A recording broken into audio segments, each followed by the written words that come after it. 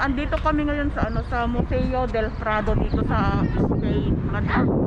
Ano, papasok sana kami doon sa sa loob. Kaya lang bawal pala ang camera at saka video. So useless din. Gusto sana namin pumasok kasi ito yung first time namin makabisit dito sa museo. Malaki siya guys, marami makikita sa loob. Kaya lang bawal naman pala. So there's no point na pumunta tayo sa loob kaya dito na lang muna sa labas. Kasi hindi rin naman namin may papakita sa inyo. Bawal ang camera, bawal ang video.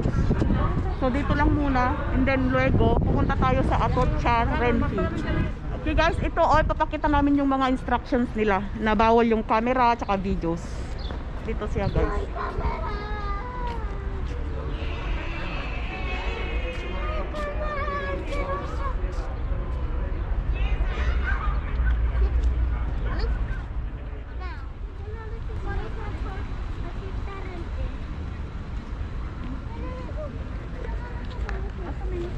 Hmm. so dito lang tayo sa may labas guys. Ito yung ano, yung kabuuan ng museo. Diba? maluwang siya guys. Maganda sana sa loob siya.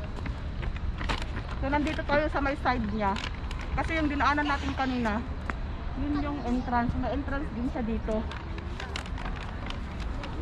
So dito na lang tayo sa may taas and then pupunta pa tayo mamaya doon sa may Atocha Renfe kung saan doon naghihinto yung mga ano yung mga train. Hindi pa kami napunta dyan so pupunta din tayo mamaya. Maglibot-libot tayo total holiday naman ngayon guys so maglibot-libot tayo. Ito yung pagkakataon maglibot-libot na naman. Ka, vamos. So guys tara maglakad-lakad na naman tayo. Ito yung first time ko rin maka, ano dito makarating dito sa ato sa Museo del Prado first time ko to nagpunta yes yes oh. Kita nyo guys, ang ganda ng ano. Ano to? Hindi ko alam.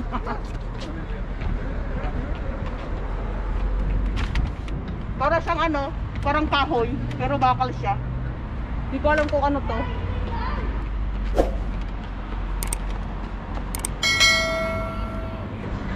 Ano ba yung nasa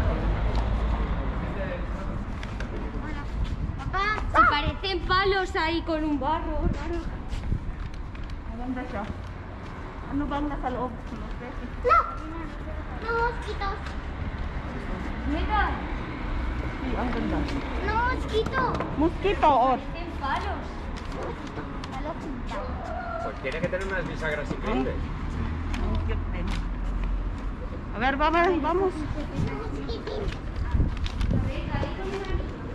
Tara na, maglalakad tayo papunta doon.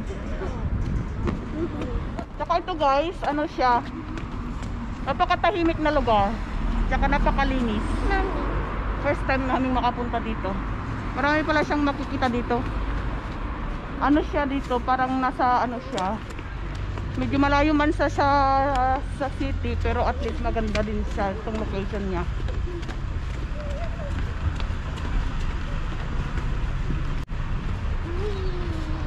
Pupunta tayo doon sa may Atocha Renfi. Doon. Hanggang dito yung ano niya, yung sa museo. Dito sa may dulo. So, ibig sabihin, kapag ka nakapasok ka dyan, maluwang talaga. Abutin ka dyan siguro ng dalawa, tatlo oras. Kasi marami kang makikita dyan. Yan. Dito mga old buildings. Yan. Mga old buildings. No. Oh, hanggang dito pa pala. So, ibig sabihin, marami ka talagang makikita dyan. Ito, iwan ko, parang parke siya, oh. Tahimik din ito na lugar. Mejor dito tumira kaya lang masyadong malayo sa ano sa mga metro, sa sa trabaho. Maganda lang ito kapag ka may sasakyan ka. Tsaka mura din siguro ang ano dito, mga renta sa bahay. Pero kung wala kang sasakyan, hindi ito advisable na magtumira dito sa banda dito. Pero maganda lang dito kasi sobrang tahimik siya. So ito guys, parang parke yan oh. Ang kita niyo ang pila, ang haba. Holiday kasi ngayon, kaya family day na naman. So, ewan ko kung ano ba to. Gracias. Ito guys, ano, botanical garden. Mga flowers diyan. May entrance din. Lahat dito pala may entrance. Akala ko libre. So, ang pinakalibre lang dito na parke is doon sa Retero, yung malaking parke para sa mga turista din. Pero kung makikita nyo doon guys, may mga flowers na magaganda. Look, sa yung red na yun oh. Maganda talaga sa loob guys. Parang ano, kasi ano to eh, hindi siya basta-basta yung par parke na ah, pwede kang mag, mag ano ba, mag-relax-relax, maglatag ng mga mga, mga banig or whatever. Pero ito talagang pasyaran lang talaga na hindi pwedeng mag-picnic. I-ano mo doon oh, pakita mo. Ang ganda siya. Mga botanical ano, botanical garden. So I think worth it din naman pumunta dyan. Diba? Hindi ganda. Ito, pwede ka nang gumamit ng video, mga camera, kasi open public naman to guys. Kaya lang, dyan lang sa museo, ano, ah, prohibited siya. Siguro dahil gusto nilang i-keep yung memories nila or yung mga history nila. Pwede naman, kaya lang, hindi mo pwedeng i-share siguro sa iba pwede kang pumasok and then malaman mo kung ano yung history nila. Pero hindi mo siya pwedeng i-video, i-upload. So yun lang guys. Pupunta tayo doon sa Atochero.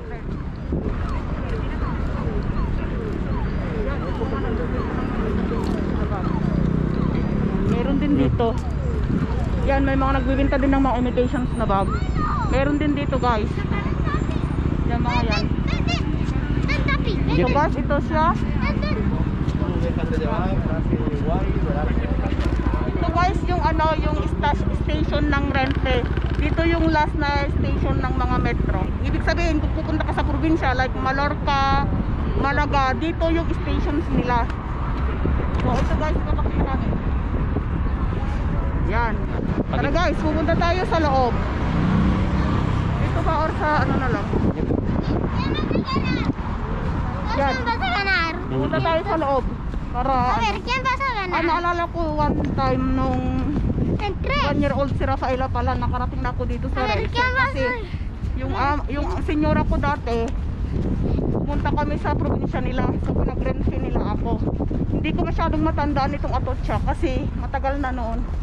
First time ko makasakay sa tren, papuntang probinsya. Pero hindi ko na matandaan yung probinsya, yung pangalan ng probinsya. Ano siya? Ah, 3 hours ang biyahe namin. Binayaran ko dati is 20 euro. Way back 2014 yata. So sobrang tagal na. Pero kung tutuusin itong Atotcha na to, malapit lang pala doon sa sa trabaho ko ngayon sa Legazpi. By bus, meron din siyang tren papuntang city. Yan.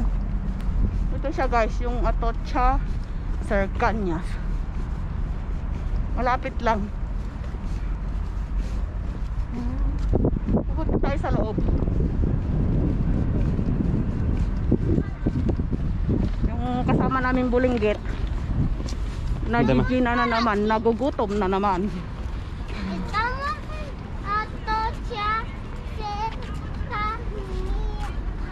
Ah, muy bien. Eh, mi mascarilla estaba al revés. ¿Por qué? Reklamo na no. Ayun, Madrid Puerta de.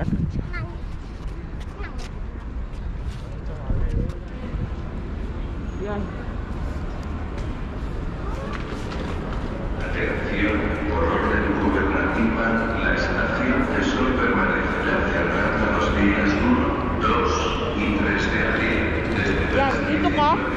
Pwede kang bumili ng ticket doon. Sa may, Disculpen las molestias. doon ang bilihan ng ticket. Pwede din dito, mga bilyete. Dito, mga machine. Doon ang bilihan ng mga ticket kapag ka hindi ka marunong gumamit ng machine.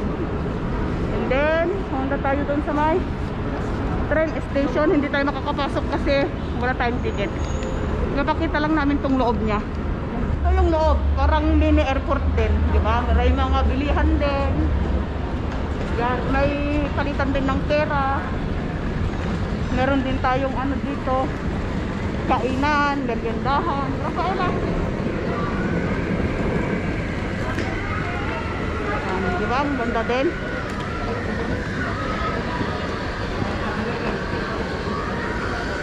Parang ano din, magbibiyahe ka sa ano, ng bansa. At ito yung mga kaunan. Yan. Merienda, snack. May mga reporter din dito, nakakita. Ayan. Diyan, may makikita ko rin, mo rin yung oras ng biyahe. Ayun. Makita ko yung departure din. Meron din naman. Ito. Halimbawa, pupunta ka ng Toledo. Yan, Valencia. Nandito na rin lahat.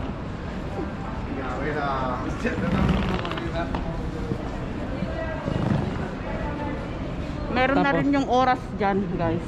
Ha? Tapos, ito, ito, guys, meron din may magandang maliit na parke dito sa loob. Papakita namin, guys, para punta tayo.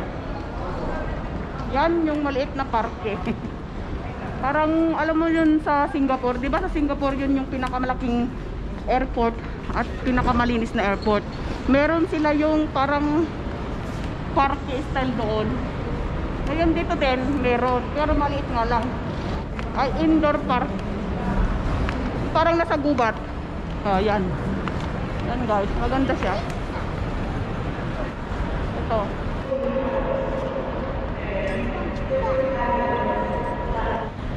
Guys, ito yung ano, mini jungle dito sa ano sa ah, loob ng Atocha. Ayan. Hindi siya pwedeng pumasok dun sa loob kasi meron silang ano, palagay na ang tawag diyan, Barikada. barikada. Hindi naman barikada yan. Ayan. Maganda siya, 'di ba? Mas maganda sana kung makapunta tayo sa loob, pero at least lang dito makikita mo na. Maliit lang siya pero maganda siyang tingnan.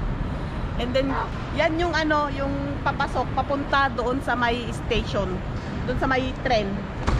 Yan. Parang mini, parang style airport din. 'Di ba? Nakakamiss. Okay.